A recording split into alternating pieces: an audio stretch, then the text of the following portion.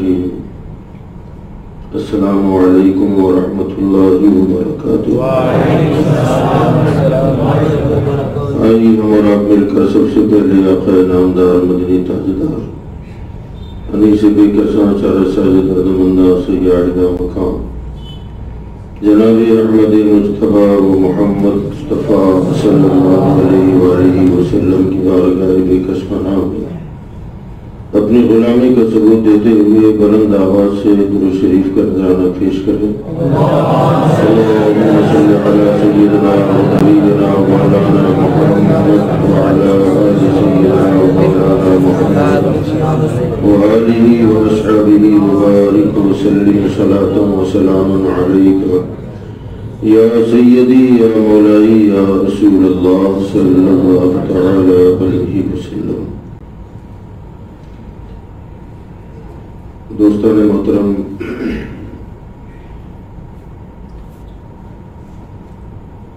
अकीदा नज़रिया जो बनता है वो कुरान और हदीस की खबर से बनता है। किसी इमाम का कौल, किसी आलिम फाजिल का कौल या किसी मुफ्ती के कौल से अकीदा नहीं बनता। अकीदे के लिए कुरान की खबर या हदीस रसूल की खबर, ये ज़रूरी है।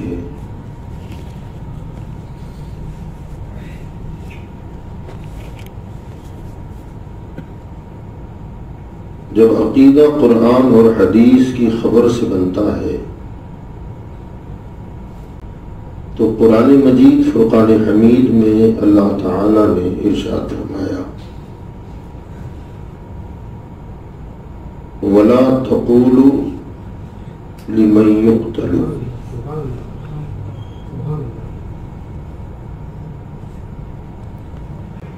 न कहो उन्हें जो कत्ल हुए, फ़ी सभी अल्लाह के रास्ते में।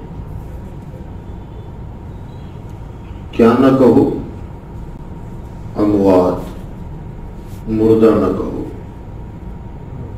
वो लोग जो अल्लाह के रास्ते में कत्ल हो जाए, कत्ल किए जाए, उन्हें मुर्दा न कहो।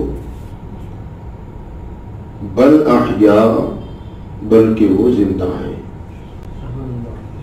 वला किल्ला तशरून मगर तुम्हें उनकी ज़िंदगी, उनके मकाम और मर्तबा और अल्लाह ने उन्हें किस तरह ज़िंदगी दी है, इसके समझने का तुम्हारे पास शऊर नहीं है। मतलब ये हुआ लाशूरी का ज़िक्र अल्लाह ने फरमाया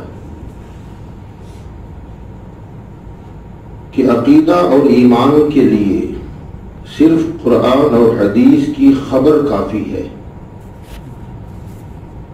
अगर कोई बात तुम्हारी समझ में ना आए तो इससे कोई फ़र्क नहीं पड़ता।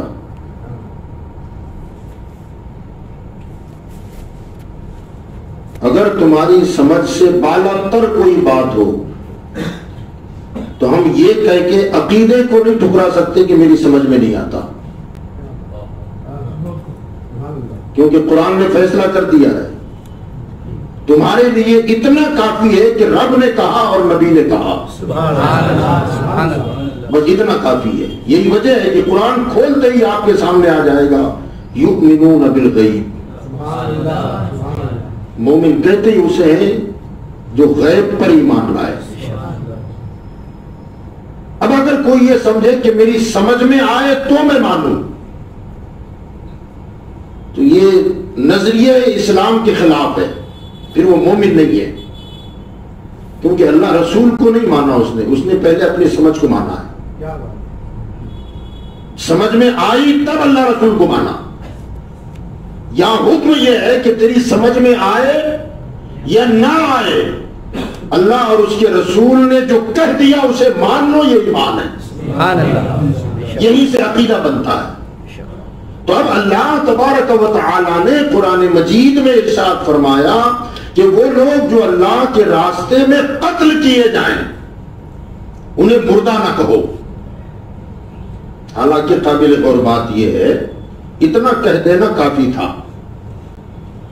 जो अल्लाह के रास्ते में कत्ल किए जाएँ, उन्हें मुर्दा ना कहो। मतलब ये कि वो मुर्दा नहीं है तो क्या है फिर? खुद ही नतीजा निकलेगा ना? भाई मुर्दा नहीं है तो ज़िंदा है। इतने पर बात मुकम्मल हो सकती थी। मगर अल्लाह ने मजीद फरमाया, बल आया ज़िंदा है वो। तफासिर ने यहाँ लिखा है कि मुर्दा न कहो, में ज़िंदगी खुद आ जाती है। मुर्दा न कहो, में खुद पोशीदा है कि ज़िंदा है इसीलिए न कहो अलग से ये क्यों अल्लाह ने फरमाया कि वो ज़िंदा बला हया वो ज़िंदा है? ये फरमाने की ज़रूरत क्या पड़ी? तो अल्लाह तबारक व हमारी नफ्सियात का भी खालिक है। हमारा भी खालिक है हमें भी उसने पैदा किया और इंसानी नफ्सियात को भी उसी ने पैदा किया है। वो जानता था जानता है कि बंदों के जहनों में कुछ सवाल तो खड़े हो सकते हैं। तो बल अहिया फरमाने की ज़रूरत इसलिए पेश आई कि कभी ऐसा होता है कि शरीयत मुतहरा ने अखलाकियात का भी दर्श दिया है। गुजशत तकरीरों में मैं कुछ बातें इशारतन हर्ज कर चुका हूँ।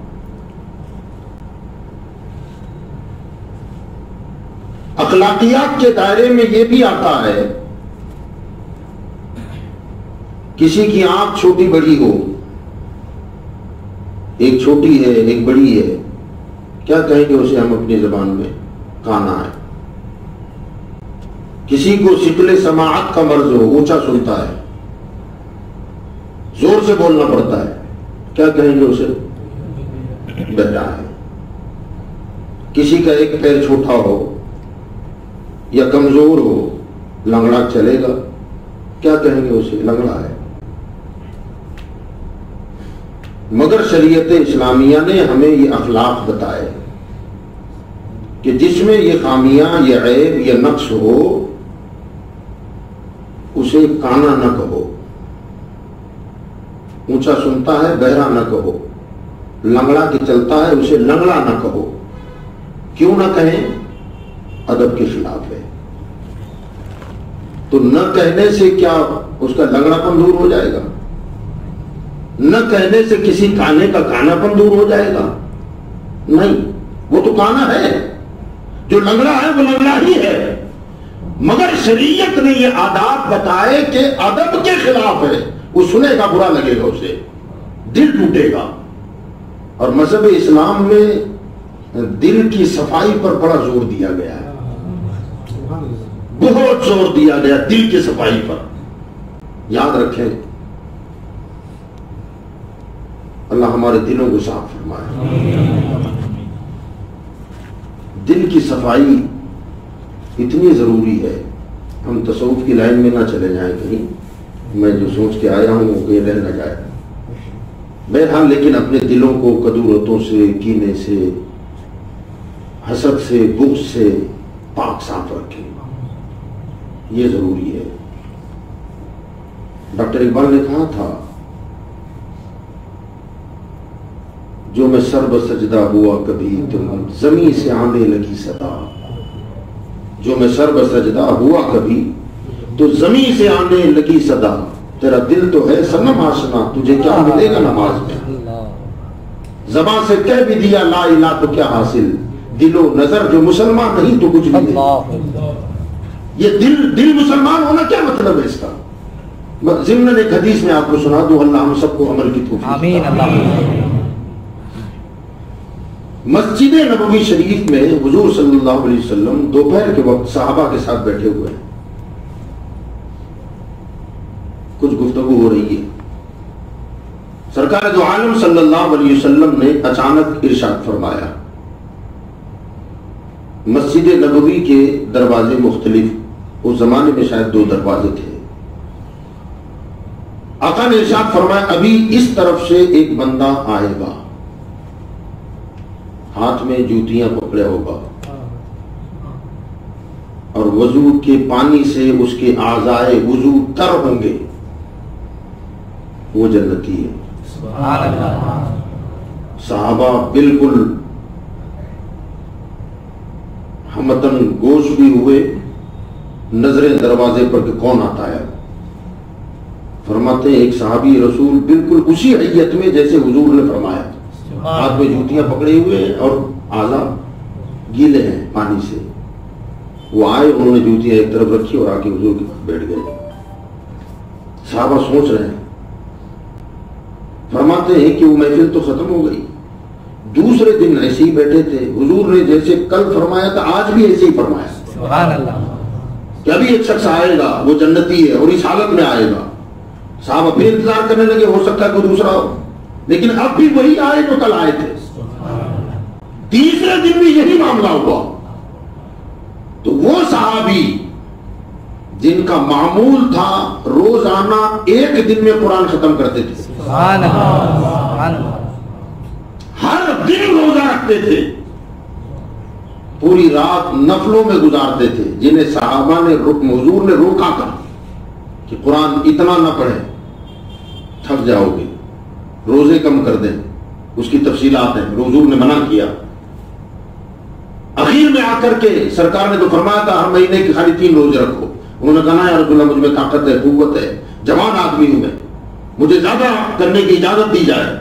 सरकार ने सल्लल्लाहु अलैहि वसल्लम ने फरमाया, हर महीने दस रखा करो कहा यार रसूलल्लाह, ना, मुझमें और ताकत है। सरकार दो आलम ने फरमाया कि एक दिन रोजा रख एक दिन अवतार कर, इससे ज़्यादा की इजाज़त नहीं। ऐसी इबादत गुजार आदमी। वो फरमाते हैं कि मैं इतनी इबादत करता हूँ रात रात नफले पढ़ता हूँ, हर दिन रोजा रखता हूँ, हुजूर ने मुझे रोका है। और ये उस वक्त की बात है जब हुजूर ने इनको अभी मना नहीं किया था, जब पाबंद थे फरमाते हैं कि मुझे ये बशारत नहीं दी सरकार ने। कि ये जन्नती है। आखिर इस बंदे का अमल क्या है कि हुजूर ने एक मरतबा नहीं तीन दिन मुसलसल जन्नत की बशारत दी है। फरमाते हैं अब मेरी जुस्तजू बढ़ गई। यार जरा देखूँ क्या अमल है कि कहा कि मैं भी करूँ? अल्लाह हमको भी ऐसे मुसाबके की तोफीक हम और आप भी मुसाबका करते हैं ना? आगे बढ़ने की कोशिश किसको नहीं हर आदमी के अंदर जज्बात होते हैं। वो ऐसा है तो मैं उससे बेहतर हो जाऊँ? मैं उससे बेहतर हो जाऊँ? अब तो खाली ये उससे बेहतर का तो मामला ही खत्म हो गया है। उससे बेहतर ये सोच हमारी घट गई है। कभी था ऐसा कि वो जैसा उससे अच्छा मैं हो जाऊँ? अब वो नहीं रहा। अब ये रहा है कि वो जैसा है उसे खींच कर नीचे कैसे गिरा दो? ये जहन हमारा हो गया है। ये मिजाज बन गया है। वो आगे बढ़ रहा है। तो कौन से तरीके से उसका पैर पकड़ के खींचूं? ताकि कदमों में आके गिर जाए। खुदा के बंदो, इससे क्या होगा? हम अपनी नेकियाँ बर्बाद कर रहे हैं। खुदा को नाराज़ कर रहे हैं। रसूलुल्लाह को नाराज़ कर रहे हैं। शरीयत में गबता जायज़ है। रश किया जा सकता है। रश करना किसे कहते हैं? कोई हमारा भाई तरक्की कर रहा है खूब तरक्की कर रहा है। तो आका ने फरमाया, यूँ कहे, मौला, मेरे भाई को और तरक्की दे और मुझे उसके जैसा बना दे। ये ना, इसमें नेकी भी है, सवाब भी है। मगर हमारा मिजाज बदल गया है। उसे खींच करके मैं आगे बढ़ जाऊँ, उसे गिरा दूँ, ये तरीका हो गया है। मगर ये तरीका भी है तो दुनिया ही में है, दुनियादारी में। माल दौलत में, इज़्ज़त में, शोहरत में, उसे इज़्ज़त मिली, मुझे क्यों नहीं? और इज़्ज़त कौन देता है? मेरे हाथ में मारने से हो जाएगा। वो तो इज्जु मंतशा वो तो जिल्लु मंतशा बियदिकल खैर इन्नका अला कुल्ली शैइन कदीर वो अल्लाह जिसे चाहे इज़्ज़त अता फरमाए। जिसे चाहे जलील कर दे। यजीद ने इज़्ज़त चाहिए ना कि मैं इज़्ज़त कमाऊं? तख्त क्यों चाहता है आदमी? ताज क्यों चाहता है? हुसैन को दबा कर इज़्ज़त चाहता था। और अपने जहन के एतबार से दबाया भी। करबला में पूरा कबीला लुटा दिया लुट गया ना। शहीद कर दिया सबको। और खुद ये समझा कि अब मैं इज़्ज़त वाला हो गया। ईमानदारी से बताओ, इज़्ज़त मिली? अल्लाह ने हुसैन को जो इज़्ज़त दी है दबाने वाला खुद दब गया, मिटाने वाला खुद मिटा। अपने आप को बुलंद करना चाहता था तो अल्लाह जिसे चाहे बुलंदी दे, जिसे चाहे इज़्ज़त अता फरमाए। तो किसी को दबाकर हम ऊपर बढ़ने की कोशिश करेंगे, ये कभी भी कामयाब वक्ती तौर पर हो सकता है कुछ। वक्ती तौर पर कुछ हमें महसूस हो सकता है। तख्त मिला था ना उसे, किया उसने दो साल काम। हुकूमत संभाली, मगर चारों तरफ़ से लानतों की बरसात।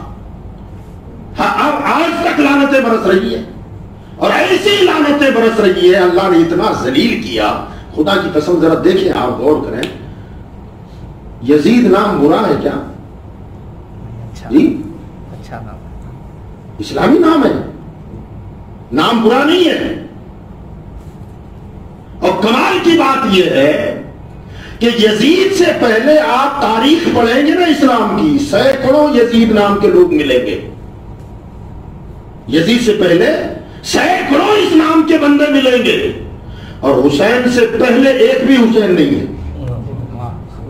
क्योंकि हजूर सल्लल्लाहु ने खुद फरमाया कि मेरे बेटे ये दोनों जब पैदा हुए तब अल्लाह ने ये दो नाम जन्नत से उतारे।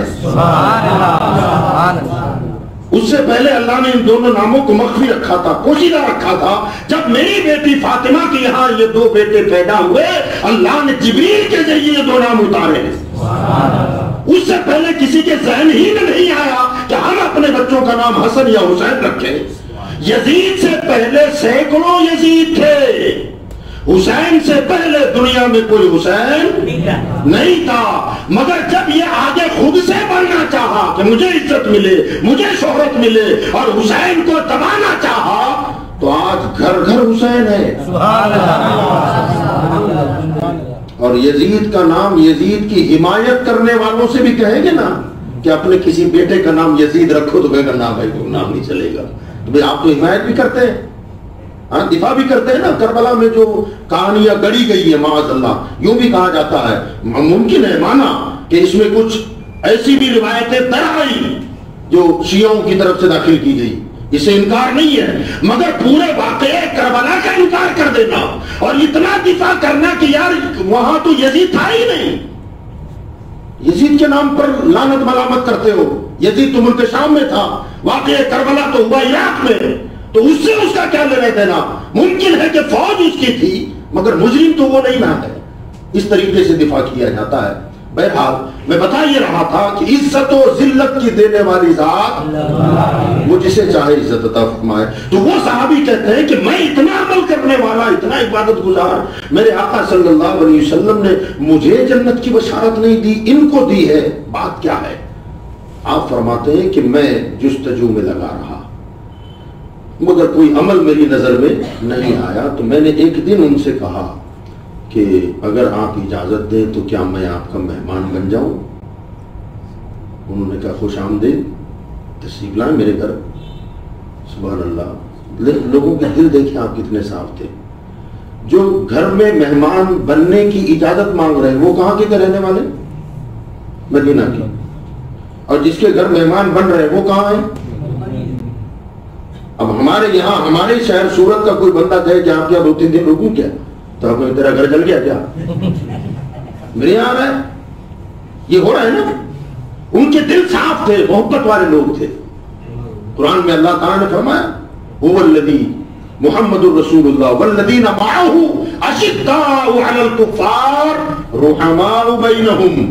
अल्लाह दुश्मनाने दीन के लिए बड़े सख्त हैं मेरे महबूब के साथ। ही और आपस में बड़े रहम दिल हैं मोहब्बत वाले हैं। अल्लाह हमको, आपको एक दूसरे के साथ मोहब्बत से पेश आने की तोफीक अता फरमाते, मैंने इजाज़त मांगी। तो उन्होंने कहा, ठीक है सर भतीजे तुम आ जाओ, उम्र में कम थे।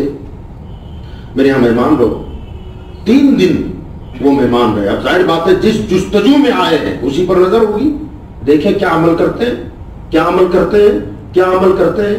वो फरमाते हैं कि रात को हमारे बिस्तर लगते थे, और मैं रात को जाग जाग के इबादत करने वाला। उन्होंने मेरा भी बिस्तर लगाया, अपना भी लगा दिया। और मैं रात भर सोया नहीं। रात भर इंतज़ार करता रहा, शायद अब उठेंगे अब उठेंगे अब उठेंगे। मगर मैंने देखा ताजुद में ही उठे वो।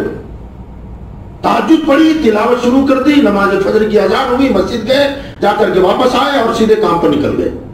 मैं सोच में पड़ गया का शायद कल करेंगे।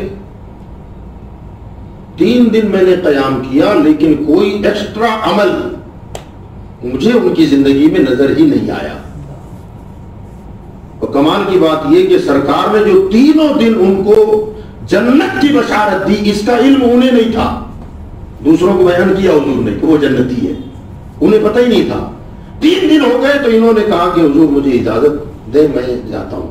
तो हज़रत ने फरमाया, वजह नहीं बताई आपने कि मेरे घर कयाम क्यों किया था? तो कहने लगे हज़रत बात दरअसल ये है कि मेरी समझ में नहीं आया हुजूर सल्लल्लाहु अलैहि वसल्लम ने मुसलसल तीन दिन आपको जन्नती होने की बशारत अता फरमाई। और मैं इस जुस्तजू में था कि आप कौन सा ऐसा अमल करते हैं जिसकी वजह से जबान रिसालत में आपको जन्नती करार दिया। और एक मरतबा नहीं तीन तीन मरतबा। तो आप मुस्कुरा पड़े कहा क्या देखा तुमने? तो कहा मुझे तो कुछ नज़र नहीं आया। जो आम मुसलमान की ज़िंदगी है, आम मुसलमान की। रात को सिवाय ताजुद के कुछ करते हुए देखा ही नहीं मैंने। पंच वक्ता नमाज़ जमात के साथ बता करते हैं, बस। इसके सिवा कोई एक्स्ट्रा नेकी तो नज़र नहीं आई।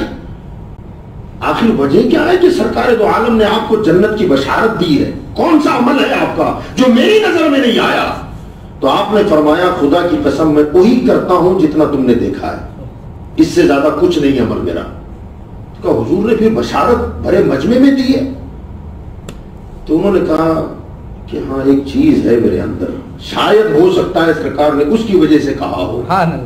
तो कहा क्या? तो किसी मुसलमान की तरक्की देखकर मुझे खुशी बहुत ज़्यादा होती है। कोई मुसलमान अगर तरक्की कर रहा हो किसी मामले में फरमाते मेरे दिल को खुशी बहुत मिलती है आँखें ठंडी हो जाती है। अल्लाह का शुक्र अदा करता हूँ। वो कहते हैं खुदा की कसम यही आपका जज्बा है जिसकी वजह से जबान रिसालत ने आपको जन्नती करार दे दिया। अल्लाह ताला हमको आपको ये मोहब्बत के जज्बात अता आमीन हम आज एक दूसरे की टांगे खींचने में लगे हुए हैं। इसको गिरा उसको गिरा। ये समझते हैं कि किसी के कांधे पर चढ़ जाना तरक्की है। ना किसी को दबाकर ऊपर चढ़ने का नाम तरक्की नहीं है। अल्लाह ताला वैसी बुलंदी से जब गिराता है ना तो फिर उठाने वाला भी नहीं मिलता। ज़मीन तंग हो जाती है। तो हज़रत ग्रामी मैं बता ये रहा था कि कुरान मजीद में अल्लाह तबारक व ताला ने जो इरशाद फरमाया कि उन्हें मुर्दा न कहो, हो सकता है कि किसी के जहन में ये सवाल आए कि इस्लाम का तरीका है, अखलाकियात सिखाता है, अदबन रोका हो। किसी में ऐब है, उस ऐब से ना पुकारो। बुरा लगेगा, दिल टूटेगा उसका, नाराज़ हो जाएगा। ये हो सकता था। तो अल्लाह ताला ने उसका जवाब देते हुए फरमाया कि मैं इसलिए नहीं मना कर रहा हूँ कि अदबन मैंने रोका हो कि इमाम हुसैन करबला में शहीद तो हुए, जान निकली, कबर बनी, जनाजा पड़ा गया, दफनाए गए। मगर चूँकि दीन इस्लाम के लिए जान दी है इसलिए उन्हें मुर्दा मत कहो। ये सोचा जा सकता था। तो अल्लाह ने फरमाया ना मैंने अदब के तौर पर नहीं रोका है। रोका इसलिए बल वो ज़िंदा है इसलिए रोका है। समझ रहे ना? कोई काना हो अंधा हो बहरा हो उसे क्यों रोका गया बोलने से? कि उसे काना बहरा गूँगा ना कहे। अदब के खिलाफ है उसे बुरा लगेगा। इसलिए रोका गया हो सकता था कि यहाँ भी इसीलिए मना किया हो। तो अल्लाह ने यहाँ उसका बल अहया कह के जवाब दिया कि मैंने इसलिए नहीं रोका कि वो मर तो गए मगर अदब के खिलाफ उन्हें मुर्दा मत कहा करो। और मना रोका इसलिए कि वो ज़िंदा ही है। अब अगर कोई इन्हें मुर्दा कहे अब अगर कोई कहे ना ना वो तो मर गए। हत्या कि इतने जरी है लोग तो ये तो शोधा है ना। नबी के लिए फरमाया मर गए। और इसको याद रखिएगा, ये खाली बाज लोगों को ये भी शिकायत होती है कि वो वो तो हो गए ना सौ साल लिख दिया जिसने लिखा है। आज भी अपनी तकरीरों में ये बयान किया जाता है। बाकायदा क्या कहा जाता है जानते हैं आप? ये कहा जाता है कि ये बरेलवी हजरात सुन्नत से ताल्लुक रखने वाले हजरात ये कहते हैं कि नबी ज़िंदा है यकीनन हमारा ईमान है? ज़िंदा है। मगर आप जहनों को ये बात मैंने मदीना शहर में सुनी है। मदीना में आप देखेंगे मगरिब के बाद मस्जिद नबवी में जगह जगह कुर्सियाँ लगा के बैठते हैं। आप तो रहे वहाँ अलग अलग इलाकों में बैठते हैं वहाँ मैं खड़े होकर कुछ सुन रहा था। वो बत, वो खुद बोल रहा है। कहते ज़िंदा है। तो क्या साहबा ने माज अल्लाह ज़िंदा नबी को दफन कर दिया? खबर किसकी है? जो मजार है, कब्र है, मदीना गुंबद खतरा उसकी पुष्ट की तरफ़ था। सरकार का रोजा। कहता ये ये कबर किसकी है? बोलो, किसकी खबर है? और जो लोग बैठते कहा, हमारे पैगंबर की खबर है। तो क्या साहबा ने ज़िंदा ज़िंदा नबी को दफन कर दिया? क्या कोई ज़िंदा को दफन करता है? वो मरता है, तब तो कबर बनती है। तो क्या इनका अकीदा है कि साहबा ने ज़िंदा नबी को दफना दिया? मौत आई है, मरे हैं, तब तो कबर बनी है। तो मानना पड़ेगा हयात नबी का इनकार करते हुए कहा नबी ज़िंदा नहीं है। ज़िंदा ज़िंदा लोगों की कब्रें नहीं बनती। हम कहते हैं माना ज़िंदा लोगों की खबरें नहीं बनती। तो सा जो शोहदा है जख्मी हुए गर्दन कटी जान निकली कि नहीं निकली? रूह तो निकली ना? कफन दिया गया नमाज़ जनाजा पढ़ी गई कब्रों में दफन किया गया फिर भी कुरान कहता है ज़िंदा है। सुभान अल्लाह अरे अल्लाह के बंदे ये अकीदा है। बहुत क्योंकि कुरान से अकीदा बनता है। और जो ज़िंदगी देने वाला है वो कहता है कि वो ज़िंदा है। नारे रिसालत याद करबला। सुभान अल्लाह सुभान अल्लाह जिस जात ने जिंदगियाँ दी है वो कहता है कि ज़िंदा है मुर्दा मत कहना। अब यहाँ ये भी हो सकता था हो सकता है कि भाई कहने पर पाबंदी लगा देना बोलो मत। तो दूसरी जगह पर अल्लाह ताला ने सोचने पर भी पाबंदी लगा दी। वला तहसबन्नल्लज़ीन कुतिलू फ़ी सबीलिल्लाहि अमवाता। वो लोग जो अल्लाह के रास्ते में कत्ल किए गए उन्हें मुर्दा गुमान भी मत करना। वल्लाहिया फरमाया वो ज़िंदा है और आगे एक लफ्ज और बढ़ा दिया इन रब्बिहिम युरज़कून। सुभान अल्लाह खुदा उन्हें रोजी देता है। सुभान अल्लाह सुभान अल्लाह सुभान अल्लाह वो रज़ाक मुतलक कह रहा है कि मैं रोजी देता हूँ। यहाँ फरमाया ज़िंदा है मुर्दा न कहो यहाँ फरमाया गुमान भी मत करना। सोचना भी मत इससे अकीदा बनता है। वाह वाह सुभान अल्लाह अब आप अच्छी तरह जानते हैं कुरान के एक लफ्ज का भी कोई इनकार करे। बोलो यार कौन होगा? मुसलमान रहेगा? बुलंद आवाज़ से बोले कौन होगा? काफिर हो जाएगा। अब अगर कोई इनकी जिंदगियों का इनकार करके कहे कि ये मुर्दा है तो कुरान की आयतों का इनकार है और कुरान की जो आयत का इनकार करे वो अब जरा सोचो शहीद कहते ही उसे है जो नबी के दीन के लिए जान दे दे। अरे जिस नबी के दीन के लिए जिस नबी के नाम पर जो मर जाए वो ज़िंदा है। तो नाम वाला पैगंबर ज़िंदा क्यों नहीं होगा? जिनके नाम पे मर मिटने को ज़िंदगी कहा गया है। हुजूर ताज शरिया। सुभान अल्लाह। बदरुल तरीका सुभान अल्लाह। अल्लामा अख्तर रजा अजरी रहमतुल्लाह अलैह फरमाते हैं मौत लेके आ जाती है। सुभान अल्लाह सुभान अल्लाह? यहाँ तो सरजमीन मदीना की बात है लेकिन हुजूर के लिए जो जहाँ मर जाए यार खुदा की कसम वो मदीने में मरा हुजूर की इज़्ज़त के लिए मर जाए उनकी आजमत और रिफत के लिए मर जाए यकीन जाने दुनिया के किसी कोने में मरेगा। खुदा की कसम वो मदीने ही में मरा। है सुभान अल्लाह सुभान ऐसी अल्लाह सैकड़ों आपको बातें मिल जाएगी। दफन होने वाले कहीं दफन हो जाए हुजूर ने क्या फरमाया जन्नतुल बकी के बारे में? जन्नतुल बकी के बारे में सरकार फरमाते हैं जन्नतुल बकी में जो दफन होगा ना हिसाब नहीं होगा उनका। कयामत में हिसाब नहीं होगा। आका फरमाते हैं कि जन्नतुल बकी को कब्रस्तान को फरिश्ते कयामत में ऐसे लपेटेंगे जैसे हम खाने के बाद दस्तरखान लपेटते हैं। और लपेट कर खाने खाना जो ऊपर गिरता है दाने गिर गए चावल गिर गए तो खाना हो गया तो आपने समेटा उसे और समेट करके किसी जगह पर जाके झाड़ दिया झटक दिया सारे दाने उस डोर में जाके गिर गए। आपका फरमाते हैं जन्नतुल बकी को फरिश्ते ऐसे लपेटेंगे और सीधे जन्नत में झाड़ देंगे। हिसाब नहीं होगा हिसाब हाँ शेख अली मुत्तकी ताला शेख अली मुत्तकी हिंदुस्तान के बड़े आलिम बहुत तेज गुजरे हैं और सुभान अल्लाह। तकरीबन तकरीबन पूरी ज़िंदगी पूरी ज़िंदगी मस्जिद नबवी में दरस हदीस दिया है शेख अली मुत्तकी अलैह बड़े पाए के बुज़ुर्ग गुजरे हैं हैं इंडियन रहने वाले मगर हिजरत कर गए और वहीं बस गए ये एक दिन दर्श दे रहे थे और दर्श देने के दरमियान ये हदीस आ गई। आपने पढ़ा दी। तो एक लड़का जो मुतालिम था वो कहने लगा हुजूर ऐसा होगा हाँ हाँ सरकार ने फरमाया। अब सभी लोग बैठे हुए थे। पाँच मरतबा ये होता है राज की बातें हर जगह नहीं बोली जाती। है कि नहीं? अगर राज की बातें ओपन ही करनी होती तो अल्लाह मेराज में मुस्तफ़ा को न बुलाता और वहाँ जो राजो नियाज की बातें हुई है ना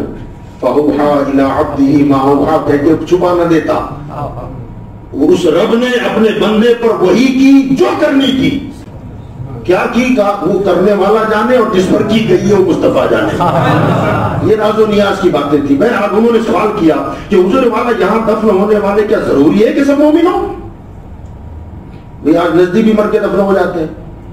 कितने भावड़े ढाबड़े जाके वहाँ के मर जाते हैं, वही दफन होते हैं। तो उनका क्या होगा? तो हज़रत ने उसका कान पकड़ा और कान पकड़ के दबा दिया। कहा ये राज की बातें हैं इतना ओपन नहीं करना है। खामोश हो गया। कहते हैं कि बाद में रात आई। जब रात आई तो उस लड़के ने ख्वाब देखा। ख्वाब में ये देखा कि जन्नतुल बकी में बहुत सारे लोग हैं और खुदाई का काम हो रहा है। कब्रें खोद कर लाशें निकाली जा रही हैं। लाशें निकालकर ऊंटों पर लादी जा रही है। और दूसरी तरफ़ से ऊंटों की कतार है, उन ऊंटों पर इंसानी लाशें हैं। उन लाशों को उतार कर इन कब्रों में डाला जा रहा है और यहाँ की लाशें उठाकर ऊंटों पर डाला जा रहा है और वो उधर जा रहे हैं, मुंतकिल हो रहे हैं। ये परेशान हो गया। ख्वाब में किसी से पूछा कि ये अदल बदल क्यों हो रहे हैं से तो बताने वाले ने बताया कि ये वो लोग हैं जो यहाँ दफन हो गए। मेरे आका की मोहब्बत इनके सीनों में नहीं थी। उन्हें निकाला जा रहा है और दुनिया में जहाँ कहीं मरा था, मगर मुस्तफ़ा से मोहब्बत थी, उन्हें यहाँ लेके आया वहाँ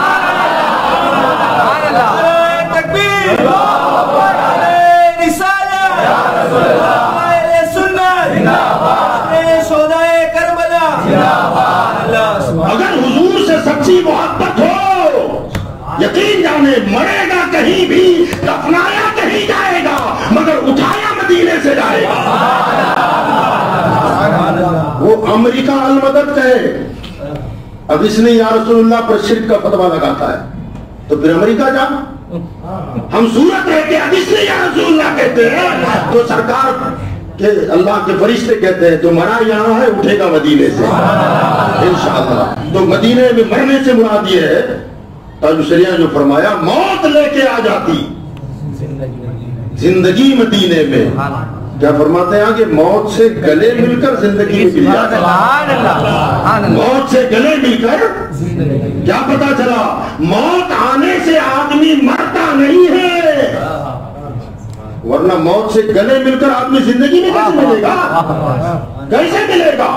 तो याद रखिएगा, अल्लाह तबारक व तआला ने जो इशाद फरमाया कि जो अल्लाह के रास्ते में कत्ल किए जाए उन्हें मुर्दा तो जो नबी के लिए मरे, वो ज़िंदा है। तो खुद नबी ज़िंदा नहीं होंगे। मगर यहाँ कुछ सवाल फिर जहन में आते हैं जो जाहरी एतबार से उभर सकते हैं कि भाई गर्दन कट गई। निकल गई। जिस्म बेजान हुआ। कब्र में दफना दिया गया। मुर्दा क्यों नहीं है मर तो गए। क्योंकि रूह निकली। तो याद रखिएगा, हयात का दारो मदहार रूह पर है ही नहीं। रूह पर हयात का दारो मदार नहीं है। क्योंकि रूह हमारी ज़िंदगी की खालिक नहीं है। खालिक तो अल्लाह है। क्या बात है। बहुत खूब। अल्लज़ी खलक़ल मौत वल हयात। कुरान कहता है मौत और हयात को अल्लाह ने पैदा किया है। तो गोया हयात का खालिक रूह नहीं है। हयात का खालिक अल्लाह है। तो फिर रूह क्या है? तो याद रखिएगा रूह हयात का सबब है। रूह जो है ना रूह, ये हमारी ज़िंदगी का सबब है। रूह ज़िंदगी की खालिक नहीं है, खालिक अल्लाह है। वो तो रूह का भी खालिक है और हमारी हयात का भी खालिक है। अब अल्लाह मुसब्बिकुल असबाब। सबका अकीदा है। असबाब को पैदा करता है। मिसाल के तौर तो भूख लगी। क्या करेंगे हम? खाना खाएँगे। हम यही कहते हैं कि खाने ने भूख मिटाया, रोटी ने भूख मिटा दी। क्या रोटी भूख मिटाती है? खाना भूख मिटाता है। भूख मिटाने का अल्लाह ने सबब खाने को बनाया है। वरना हकीकत में भूख मिटाना ये अल्लाह की शान है। वो चाहे तो जहर से पेट भर दे। और वो चाहे तो रोटी से मौत दे दे। हम जो खाना पेट भरने के लिए ज़िंदा रहने के लिए खाते हैं और जहर से भागते हैं, अगर वो चाहे इन अल्लाह अला कुल्ली कदीर। वो चाहे तो खाने से मार दे और जहर से ज़िंदगी दे दे। मगर जहर को सबब बनाया मौत का, खाने को सबब बनाया पेट भरने और ज़िंदगी का, ये सबब है। अब वो खालिक कायनात वो है कि अगर वो चाहे तो सबब के ज़रिए मुसब्बब अमल में लाए। याद रखिएगा।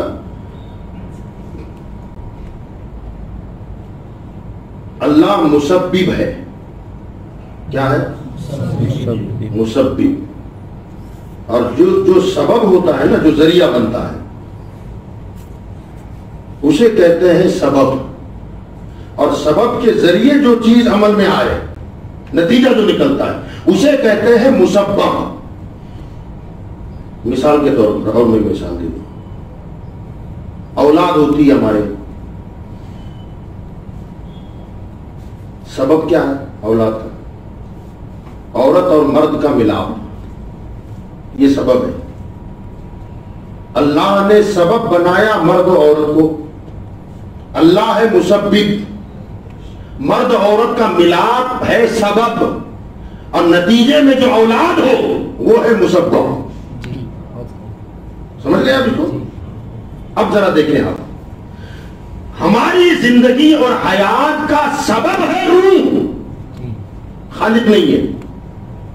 अब वो चाहे तो सबब के बगैर मुसब्बत पैदा कर दे। कादिर है वो। सबब के बगैर नहीं होता। हालाँकि उसूल क्या है? जब तक मर्द औरत का मिलाप ना हो, औलाद नहीं होगी। खाली औरत से औलाद मर्द करीब ही ना जाए। और औरत कहे कि औलाद चाहिए मुझे, हो जाएगी? औरत ना मिले और मर्द चाहे कि मुझसे औलाद हो जाए, मर जाओगे नहीं होगी।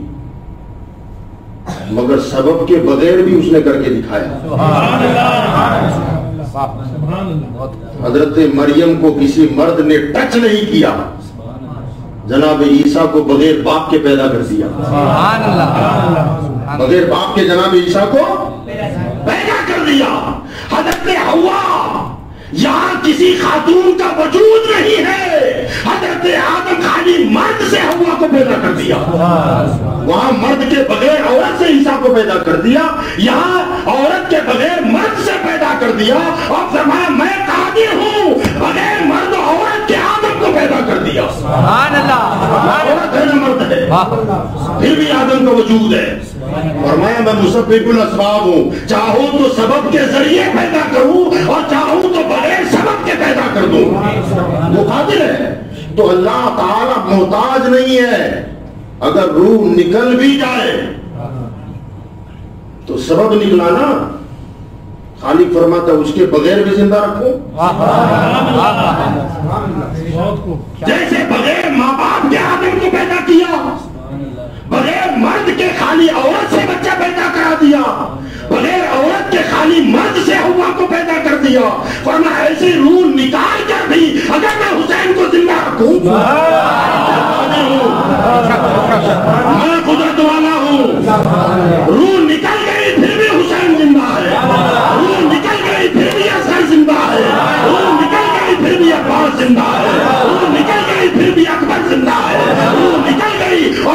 हज़रत कासिम ज़िंदा है क्योंकि ज़िंदगी देने वाला कहता है वो ज़िंदा है। नारे तकबीर नारे रिसालत यादे शहदाए करबला बुलबुले बागे रजा। सुभान वो कादिर मुतलक है। अब जिसका ईमान अल्लाह की कुदरत पर नहीं है वो इनकार करता फिरे। हाँ? जिनके कदमों पे मर जाने में ज़िंदगी है।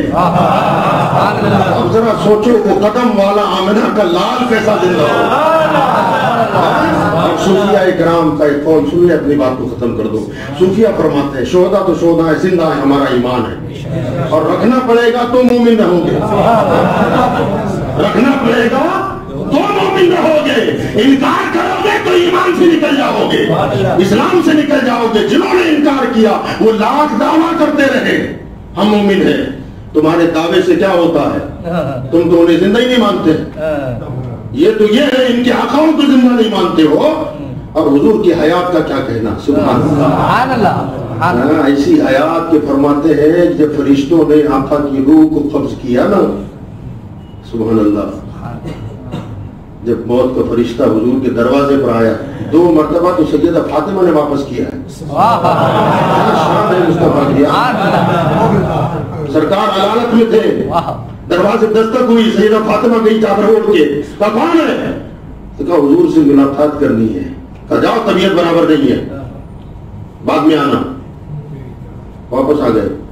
सरकार ने सुना कौन है? कहा कोई आरामी देहात का आदमी था।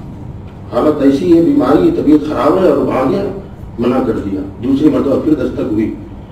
सैयदा ने दरवाज़ा खोला, पर्दा किए हुई थी, देखा, कि तुम वही हो ना, अभी थोड़ी देर पहले आए थे। तो कहा हाँ। मैंने आपको बताया ना कि हुजूर की तबीयत खराब है। बजाओ बाद में आना। चला गया। फिर कुछ देर के बाद दस्तक हुई। सैयदा फिर आई। दरवाज़ा खोला, पहचान लिया। कहा कितनी मरतबा समझाना पड़ेगा? हुजूर ने अंदर से फरमाया फातिमा कौन है?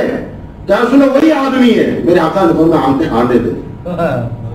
उसे आने दे। सैयदा ने इजाज़त दी थी सैयदा फातिमा आई। आका ने फरमाया अल्लाह का फरिश्ता है जिसकी बेटी की ये शान हो। उसके बाबा की फरिश्ते को फातिमा रोके तो फरिश्ता रुक जाए। भाई किसी की माई के लाल में ताकत के फरिश्ते को रोके? हाँ?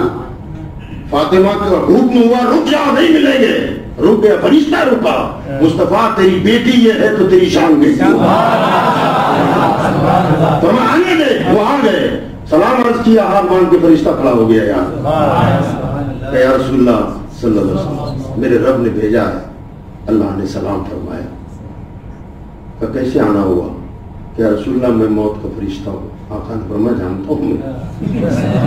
मुझे मालूम है। ताना कैसे हुआ? कहा, या रसूलुल्लाह रब ने फरमाया मेरे हबीब से पूछो। अगर इजाज़त दे तो मैं अपना काम करूँ।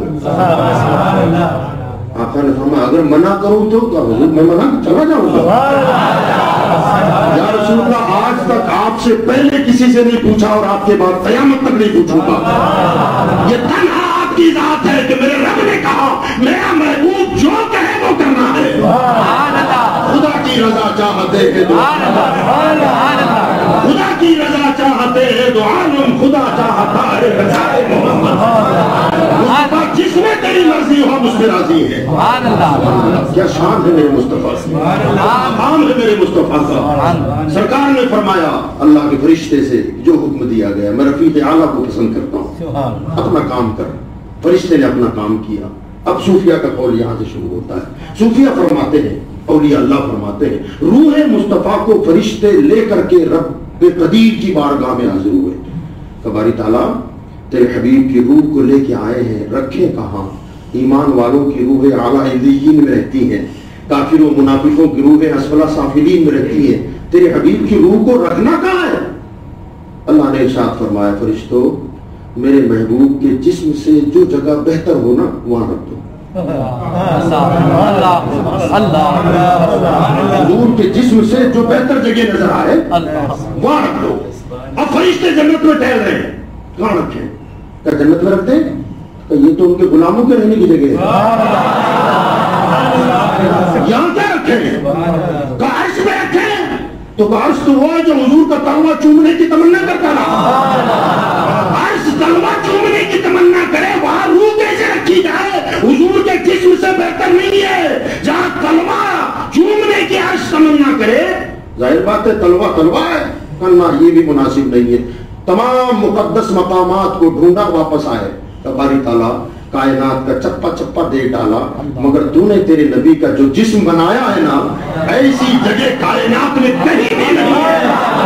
कोई जगह तेरे जिस्म मुस्तफ़ा के जिस्म से बेहतर नहीं। तो रब ने फरमाया फिर जहाँ से लाया तो वही दे ज़िंदा है अल्लाह। ज़िंदा है वल्लाह। मेरी चश्मे आलम से वाले